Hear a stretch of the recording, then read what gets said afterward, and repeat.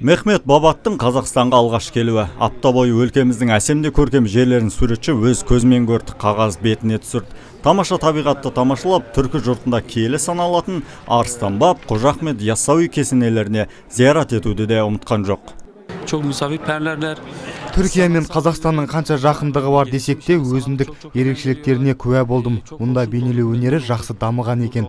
Маған ең қызығы қожа ахмет яссауи кесенесі болды. Қазақстанға қайта айналып келуге мүмкіндік болса тағы келер едім. Суретшілер пленері тамыздың 16 күні бастау алған болатын. Жиналған қылғалам шеберлері бейнелеу өнеріндегі жаңа көркем бағыттар төңірегінде пікір алмасты. 19 тамыз күні бейнелеу өнері мұражайында шеберлік сабақтарын көрсетіп те үлгерді бір жетіде суретшілер 140-қа тарта туындыны өмірге алып келген. Енді түркістан түркі әлемі мәдени астанасының аясында өткізіліп жатқан бір үлкен жоба.